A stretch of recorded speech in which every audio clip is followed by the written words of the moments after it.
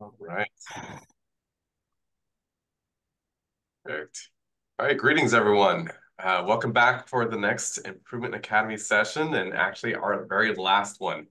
Uh, as you know, this was a 12-part series, and uh, for those that you know certainly stuck around, thank you so much, and um, and asking all of your great questions along the way.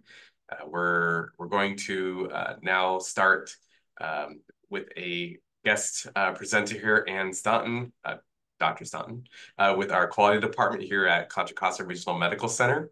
And she's got a presentation associated with faster psychiatric admit turnaround times. And uh, really, uh, and I, I turn it over to you, okay? All right, thanks, Roberto. Hi, everyone. I'm Ann Staunton. I'm on the SPI team supporting the psychiatry department, both psychiatric emergency services and inpatient psychiatry, as well as the medical ED and QIP and other projects. And I want to tell you about this project to improve um, admission turnaround times for psychiatric patients who are admitted from the PES to an inpatient psychiatry unit. Uh, we have 43 inpatient psych beds on units 4C and 4D in the hospital, all for adults. And tell you a little bit about why this was a good project and what the data measures are. So faster admit turnaround times for psychiatric units is important for hospital flow. This benefits patients to get into an inpatient setting more quickly and to decompress and decongest the PES, where crowding can lead to more assaults or just lack of safety for both staff and other patients, and also to get them in the right setting with more services, more intensive services, and also to maximize the utilization of our inpatient psychiatry beds, which is important financially also for the hospital. So the key measure is um, the outcome measure is the bed request in inpatients in PES for an inpatient psych bed, which is requested by the uh, psychiatrist, to uh, the turnaround time from that to the 4C4D admit time. And in 2022, it, the baseline data showed uh, a med- uh, 360 median minutes, and there's no um, like Joint Commission or CMS um, benchmark for this. So we did an experimental internal target of less than or equal to 320 median minutes. Um, we had a bunch of, I had a bunch of other um, measures. Um, but the main ones I want to talk with you about today are that one, that's the outcome measure, as well as a process measure, which is um, the length of stay in PES, that's from arrival to departure for those admitted patients. It's important for the state uh, regulatory requirements and other reasons to minimize that length of stay, hopefully below 24 hours. Another measure that I had, which was the balancing measure, was, uh, you know, kind of looking for what might be a good balancing measure was if we admitted too quickly or filled up too many beds, maybe you could have an increase in the assault rate on inpatient psych units. So that was my balancing measure. Um, the assault rate per um, 1,000 inpatient days on the inpatient psych units. And so I did. Um, what else do I want to tell you about this? So I involved, um, of course, the psych leadership team. Um, they were so great. We we really have a great team. They're very involved, but also the inpatient nursing uh, director of operations, Ira Beta Sabio, who leads the uh, medical center supervisor team, and they're the ones who do bed planning and bed assignments in the hospital.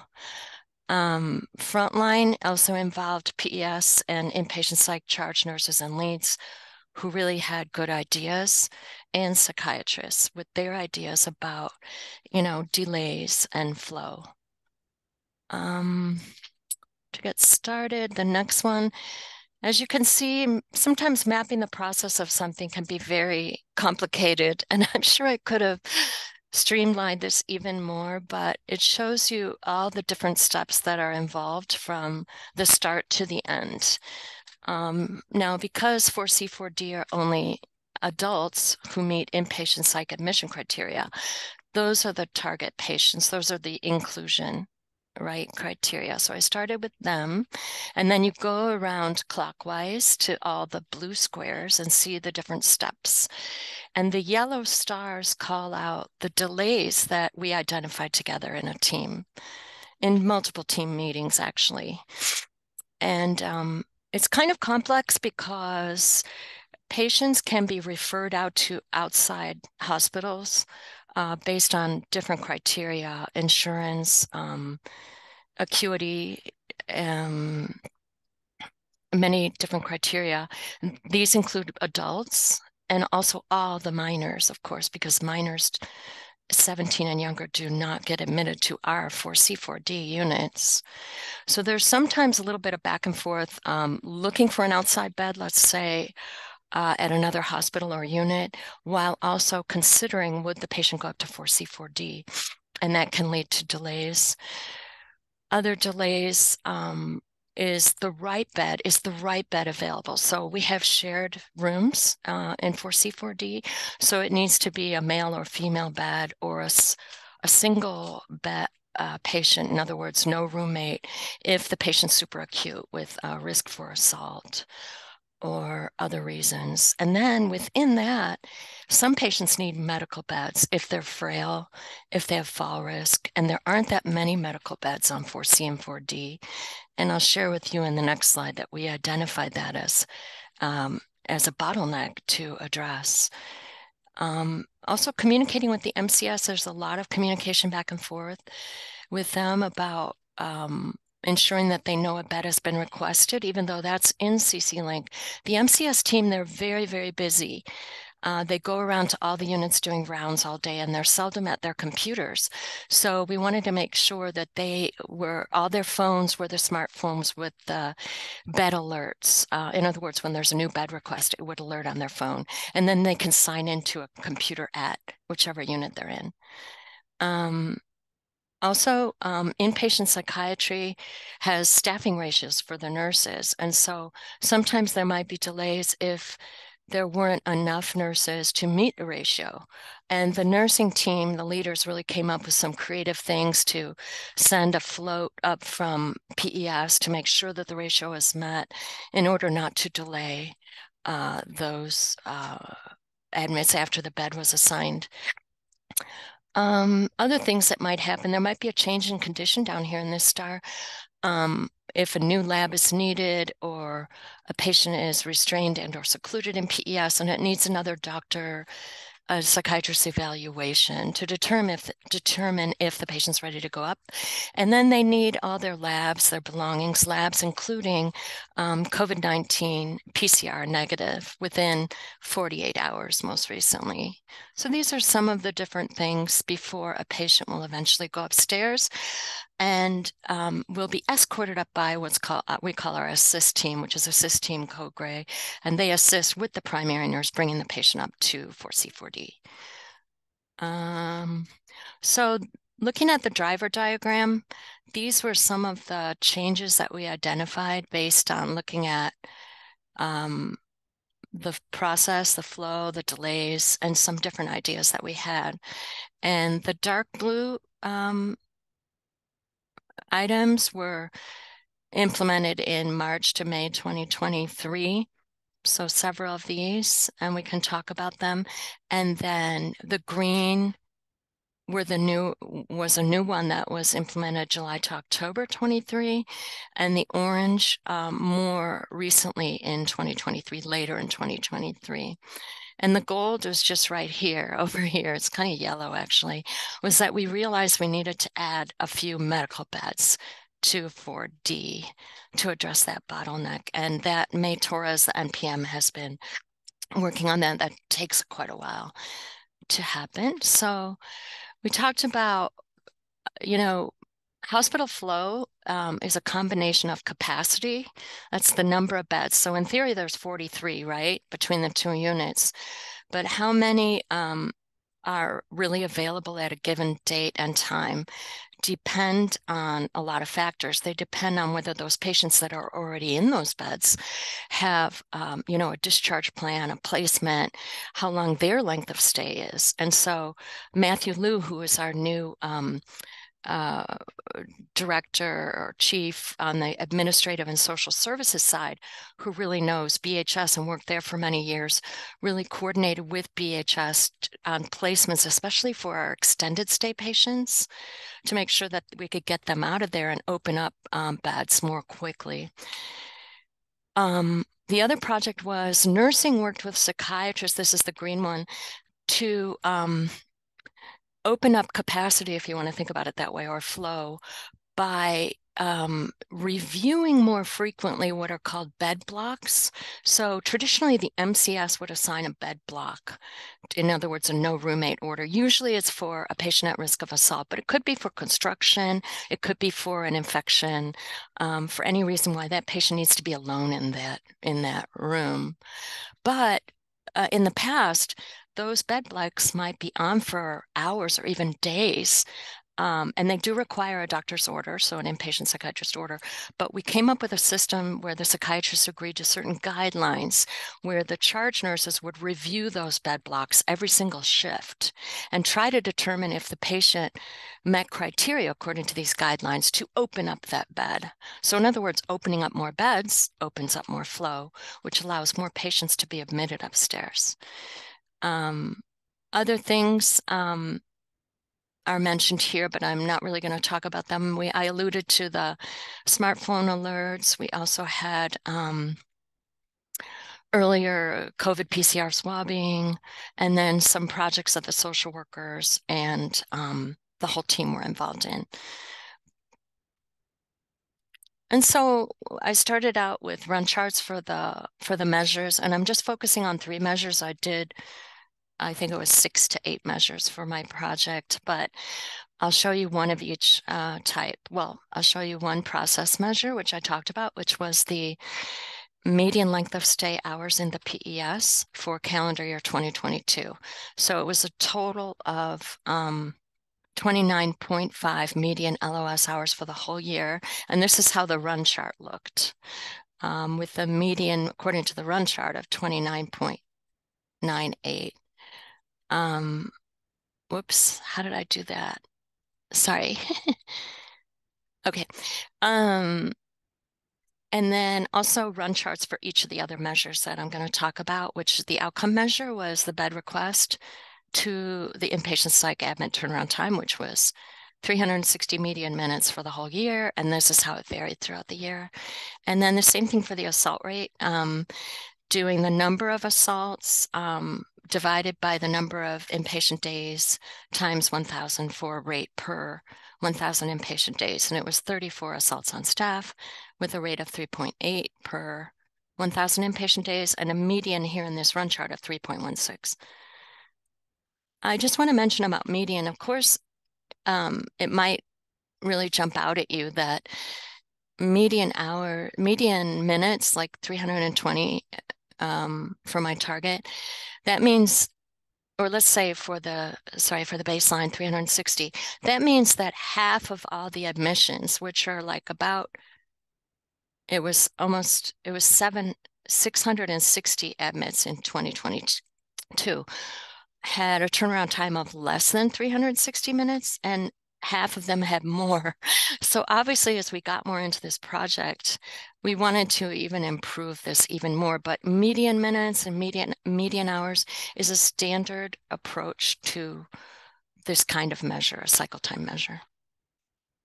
And then we did some PDSAs, um, and they had mixed um, effects on reducing turnaround times that I'll show you uh, in our measures.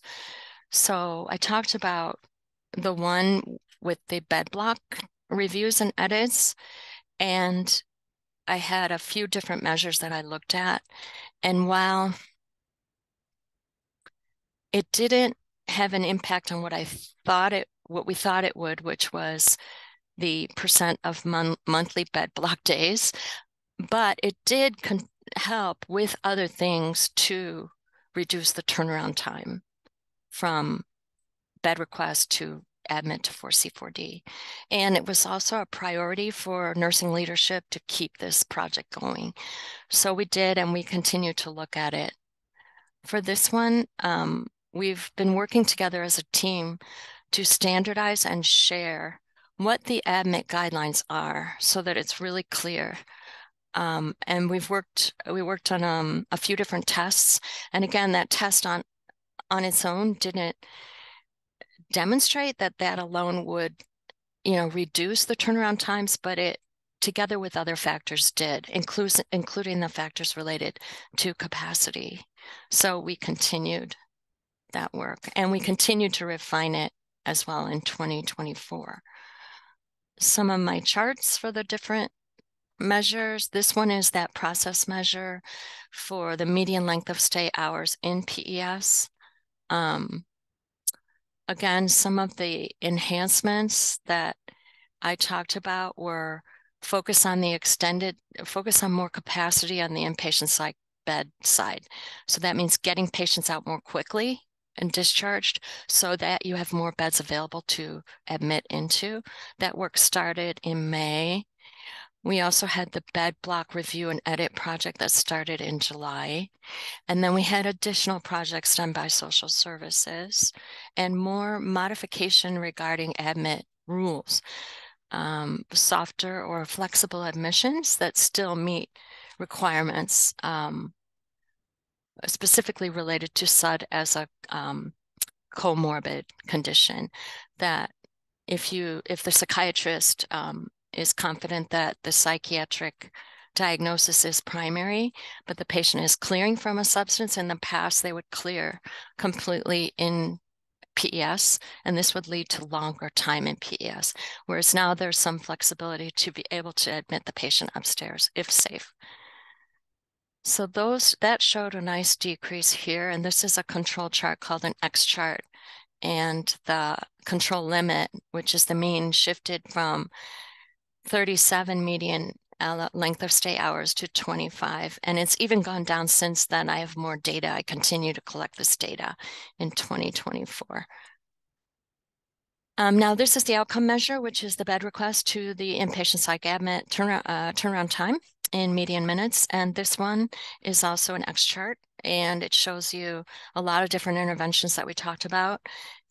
And the control limit went from 747 uh, minutes to 333.7, and it continues to drop down. And in 2024 year to date, we're on track with um, under 320 median minutes, and we continue to work on it. This one, assaults on staff um, rate. Um, this shows you some variation, but overall, um, this is a, called a U chart with a control limit of 2.4 and a target of 2 or below. Um, the baseline was 2.8. Oh, I'm sorry. I even move my mouse around, it sort of shifts me off. Here we go. Um, so the target was, let's think for a second. It was, oh, okay. The baseline was 2.8 per thousand inpatient days. And the follow-up with 34 total assaults on staff, and the rate in the follow-up period, which was May 2023 to April 24, was 1.8 per 1,000 inpatient days and 23 assaults. This shows an improvement, not an increase. So therefore, the worry that it would increase didn't come to pass. So that's a good thing. The balancing measure um, was satisfied. And then this is more detail of weekly um, for the outcome data. And we would look at that together and try to understand any outliers and work together um, as a team to kind of test where we were. And then sort of the summary, um, it showed an improvement in the turnaround times um, from a baseline of 360 median minutes in 2022 to 276 median minutes in the 12 months ending April 2024, and even improved since then. And several process measures also showed improvement, uh, the ones listed here. including the one I showed you, which was the length of stay hours in PES for those admitted patients. And then I talked about a few of the tests of change that we did. And then we had different process enhancements that together probably contributed to the favorable declines. The MCS bed request alerts on smartphones. We had um, a really great streamlined and redesigned PES inpatient psych nursing handoff No template in the electronic health record. They were still doing paper and faxing upstairs, if you can believe it, up until February 2023. And the nurses love it and it works really well.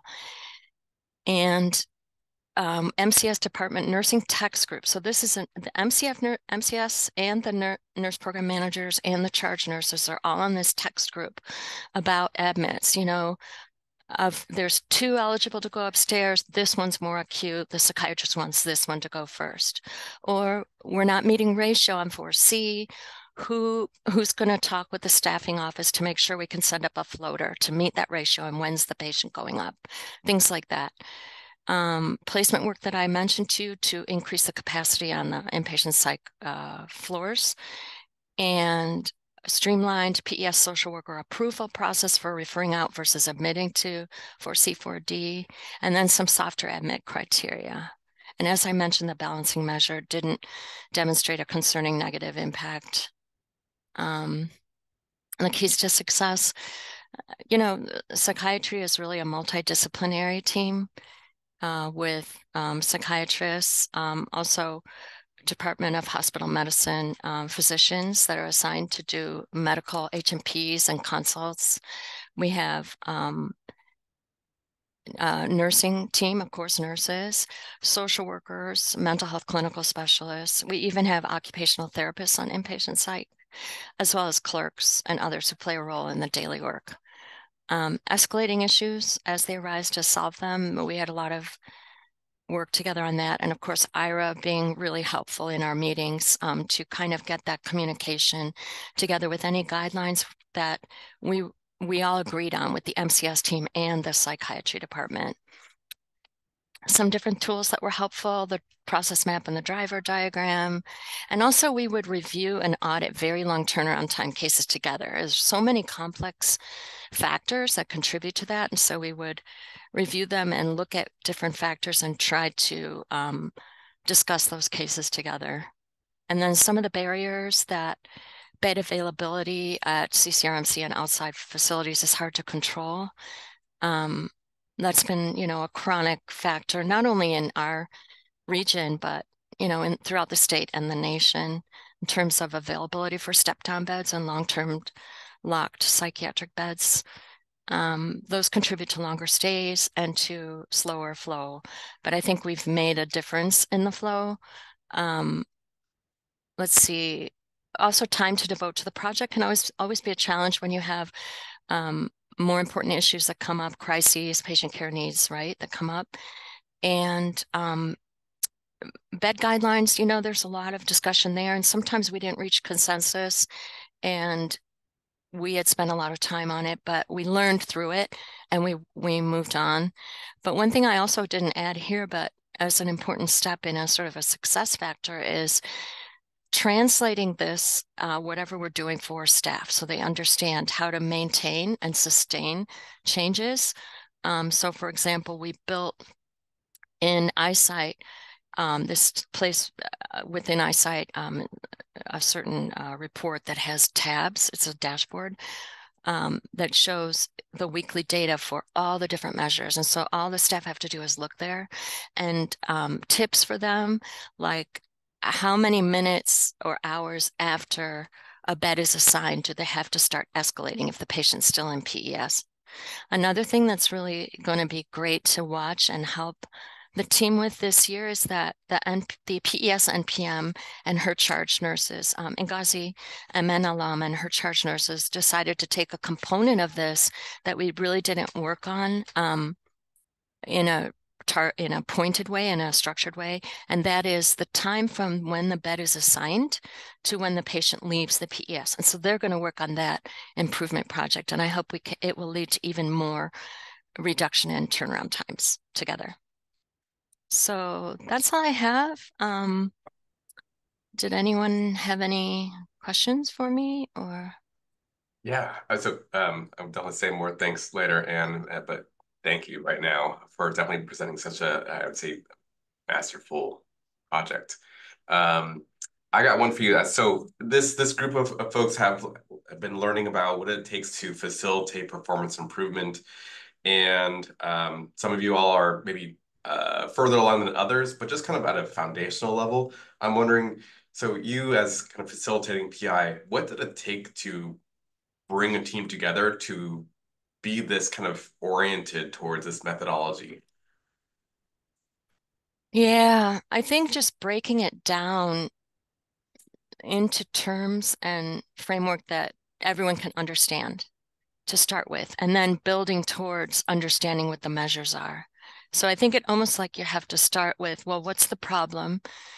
Um, what's the problem as they see it, and what's the enhancement? So when people began to understand the flow problem, which they all recognize and they see in their day-to-day mm-hmm. life, and it's very frustrating for staff and for patients, then it was, oh, okay, um, what are some of the delays? And how can we turn studying those delays into, hey, what's um, an idea to address that delay or that barrier, like an improvement?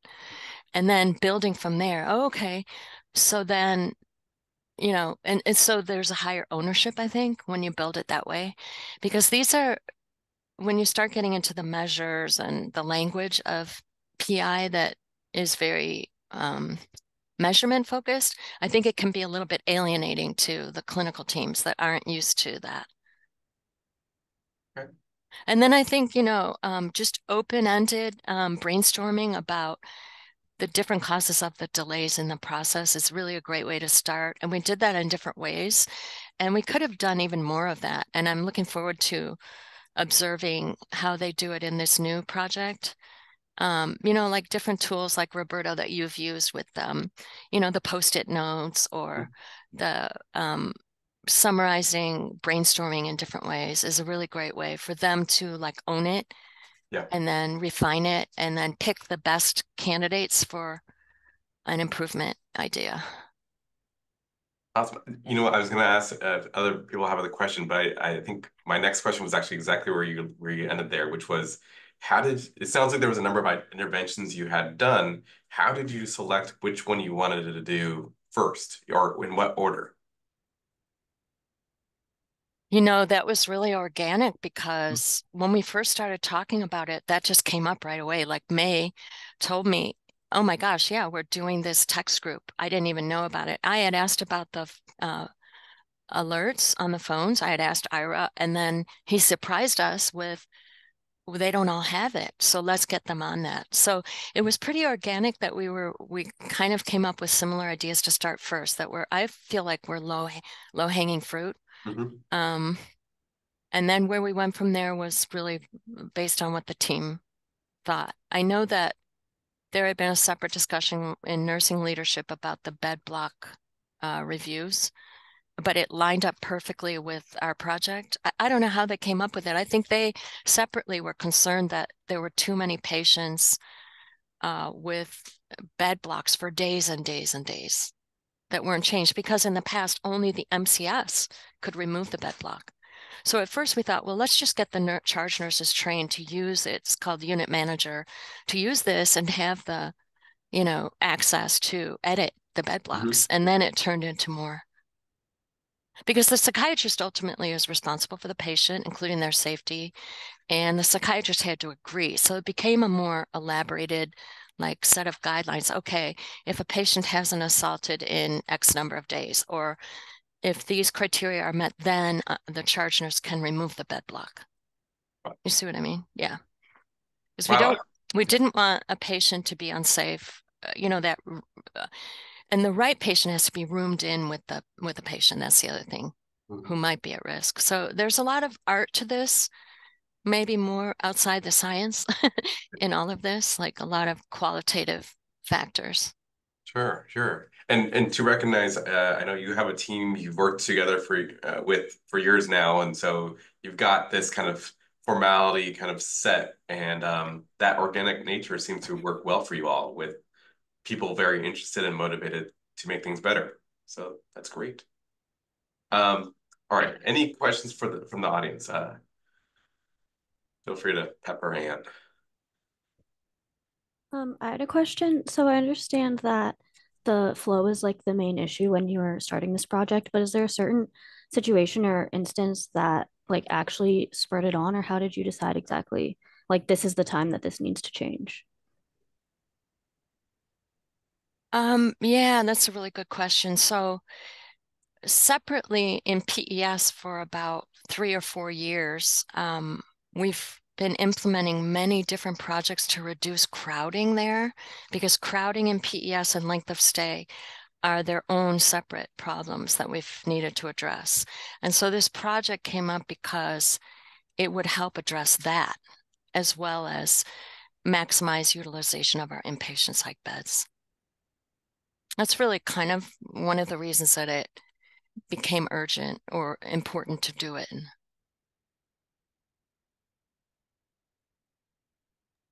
Great. Uh, and question from the audience, what does MCS stand for?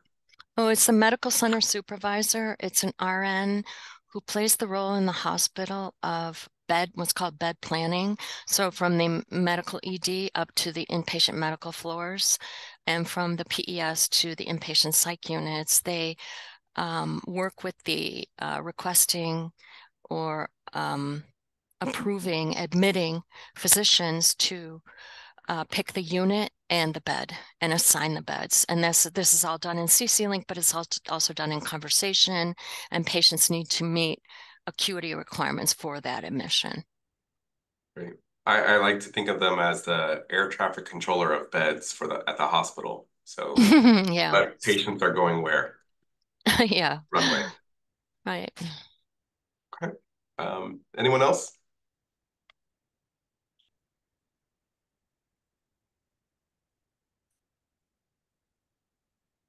Okay. Okay. Maybe that might be it, Anne. Okay. That's all right with me. uh-huh. Perfect. All right. Well, well, again, Anne, thank you so much for joining us and, and presenting your project. Uh, wealth of work there um, and, and knowledge gained. Um, any any uh, maybe maybe last tips you might want to share with the group as again uh, they're in this state of beginning PI. They're um, we've learned about the various charters and driver diagrams and everything. But anything you might want to suggest um, how to kick off a project the, the right way? Yeah, I think start small. Think about low hanging fruit. Pick something that seems feasible and people are engaged with, and then go from there. You'll learn how to use the tools. You'll hopefully make progress, or you'll learn if you don't, and you can eliminate that idea and then move on to the next one or build on it. Absolutely. Build on it. Okay. Yeah. All right. Thanks a lot, Roberto, yeah. for inviting me. Absolutely. And good luck, everyone. All right. Thanks, Anne. All right. Bye-bye. Bye. Okay, everybody. So we're at that tail end of our, again, session 12. And um, I want to make sure we got some good engagement here. So I, I want to maybe do a quick little challenge of, of questions. Um, so we've heard this term PDSA a number of times. Um, someone, someone tell me what that means real quick. Not only the acronym, but what is it? What does each um, acronym or piece of acronym letter mean? like your final exam.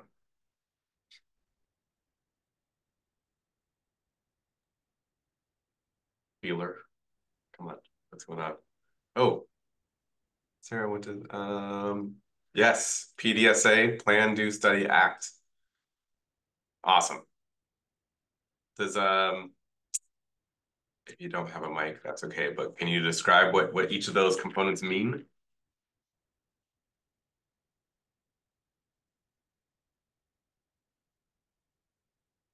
Oh. Well, I could, oh, oh, there you go. Go yeah, ahead. I'll take a stab at it. Um, so the plan part is really like what, I guess, exactly what it says, like planning the actions that you'll be doing within the first cycle. Mhm. Um, the do is the the steps, I guess, that are going to be the actionable stuff. Yep. Uh, the study is essentially the outcomes from the steps that you took action in in the do part. Is that a good way to? Yeah, okay. And then act, um, I always understood that as kind of like from the findings from the study part is like how Mhm. you, how you're going to move forward, like the actions from that. Yeah. And uh, it, I know it gets a little bit more com complicated from there, but I I like to say there's there's three different decisions when you get into the act part of things. You can uh, adapt, adopt, abandon.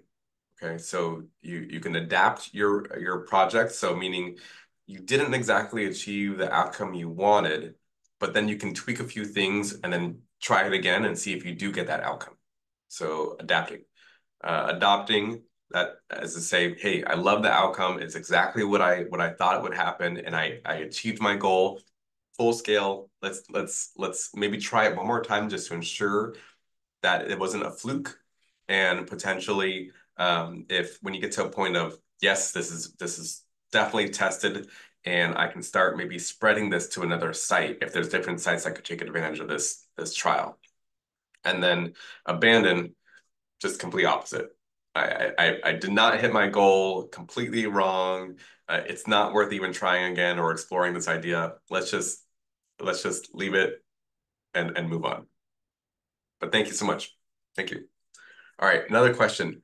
Um, so with let's let's go over to um, the model. So we talked about the model and overall. Now it's gonna it's gonna mirror a lot of the of PDSA, but remember we talked about there's various models that exist, right? And um, I likened it to uh, the scientific method. So what uh, roughly Uh, it's going to be like similar like PDSA, but what's roughly what you're trying to do on the very beginning of a project according to the model? I'm going to focus there.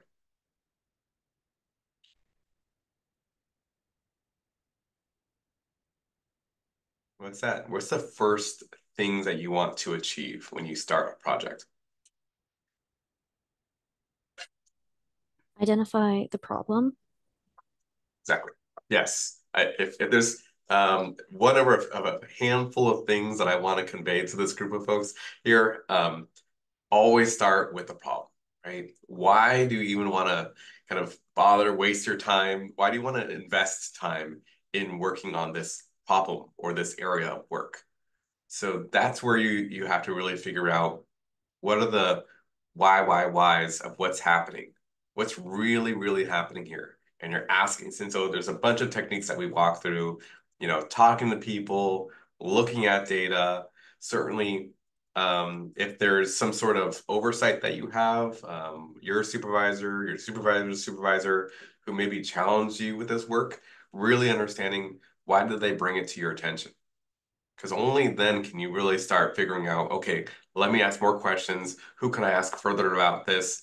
And only at that stage of you know what's truly the problem, can you really start figuring out different ideas that you might want to test. So uh, you know, and I and I know we, you probably all experienced uh, someone saying, "Hey, I know what's the solution to that problem," like from the from the get go, and it could very well be right, but eh, by doing that, you're you're hurdling over well, what's truly the cause? What's what's actually the reason for that problem existing, and might there be some other um, uh, directly uh, affiliated things that should be considered as far as oh if we if I would have thought about this other pathway more maybe that's actually the reason why this problem exists and what maybe we should we do about it. Thank you thank you yes. Um how about let me one more question here. Um what's the difference between a process map and a value stream map not easy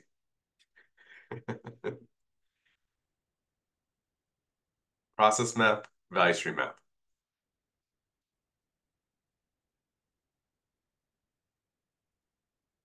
Nicole, you got something? I see your hand now. Okay, the process map how things actually work operationally, where, whereas a value stream map is where the the value is in it, the bang for the buck? Yeah, I would say you're you definitely are incorporating what the client um, deems as valuable um, into yeah. this map. Um, and remember, uh, there are three layers to that map, if you remember right. And that middle layer is essentially a process map. But there's other layers, top and bottom, that talk about communication and talk about time. So what a process map for sure, like the way that to really differentiate, you would say, well, one is process map, step, arrow, step, arrow, whereas the value stream map really adds in the component of time. How long does each step take? How much time is between each step, which we, we might consider as a waste. And then each step can be further refined or not. So I, I while there are three of areas, the way I typically say how to really differentiate step arrow step versus step arrow step plus time. We're actually calculating how much time is going on throughout the process. Awesome. Awesome. Okay. Um, I'll stop there with my questions, but really now turning to you for a separate question. Um, we're at the end here. This is this is it. This is the final thing. Any outstanding pieces of information that anyone wants to hear about, or um, you're even welcome to and provide feedback um, on this experience. I'm, I'm definitely curious to hear what anyone has to say.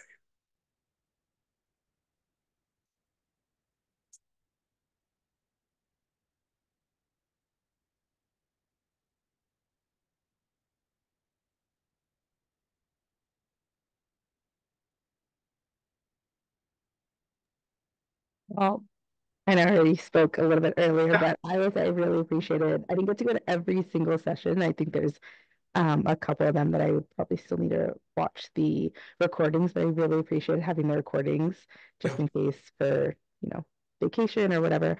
Um, but being able to go back to also look at some of the um, just the things that we talked about, the topics, and I know we went through a ton of different kind of like tools and diagrams that um, I was introduced to first through this um, through this improvement academy.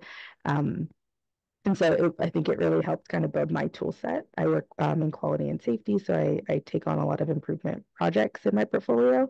Uh, a lot of them are smaller, but um, I think just having, just learning and being introduced to some of these topics and theories has been really helpful.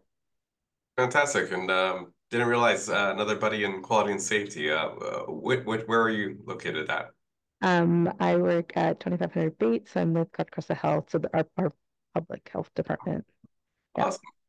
Well, um, now that we know each other, you're feel free to welcome to, you know, ask me questions. Um, I'm happy to uh, side conversations on this stuff too. Well, thank you. But yes, I really appreciated the conversations and getting to also learn a little bit about some of the projects, other people, and how they could apply these, you know, these ideas or topics. So, thank you. Mm -hmm. Anyone else? Questions, concerns, feedback? I have some feedback. Yeah. Hi. Let me turn on my camera here. Um, yeah, so for me, um, I've talked to you, I've talked to you outside of the academy, but I've I haven't been able to go to every session but to the sessions that I have been to, I really appreciate how you go into detail and and explain it in a way to where we understand it. well, at least I understand it. Um, and so I really appreciate that because it sometimes is really difficult to understand this, especially on the first time, right? It's a lot of information. Um, so anyways, I just really like the way you explain things and um, the way that you take your time with it. Thank you for that. No, appreciate it. Thank you. And definitely feel free to again reach out, ask more questions. I'm, I'm happy to provide. it. Yeah. Thank you. Okay. All right. If no other uh, takers, um, I think we got 10 minutes left in the hour, but uh, just want to say again, thank you for all your participation and joining on this uh, 12 part series, long, a long haul. Um, uh, shout out to uh, Miss Williams here, who has been our uh, everything uh, manager coordinator of this whole whole show and um, I and I know uh, a shout out to uh, Erica who I know couldn't couldn't speak during the session, but wrote a little message here of appreciation, and uh, she helped to, uh, of course, set this platform and make this uh, something to actually happen. So again, shout out and big thank yous. So uh, again, I guess we will say signing off, and um, if there's something else that pops up, you know, maybe a future something, we'll let you let you all know. But again, you have the recordings until then, and, and my contact information to reach out. Okay. Thank, Thank you. you, Roberta. Take care, everybody.